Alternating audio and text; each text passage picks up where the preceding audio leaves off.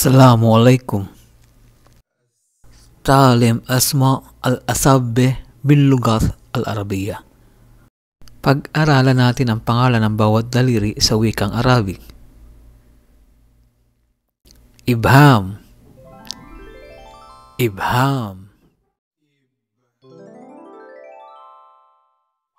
Sababa Sababa usta. Usta. Bunsur bunsur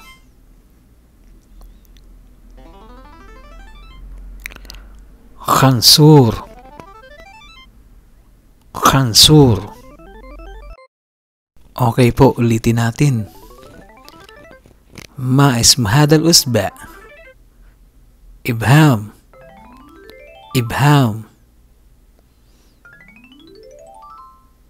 ما اسم هذا الأسبوع؟ سبابة سبابة ما اسم هذا الأسبوع؟ أستا أستا ما اسم هذا الأسبوع؟ بنسور بنسور ما اسم هذا الأسبوع؟ خنسور خنسور Ulit-ulitin lang po natin para mamemorya. Salamat. Al-adafir, mga kuko. Dufur, kuko.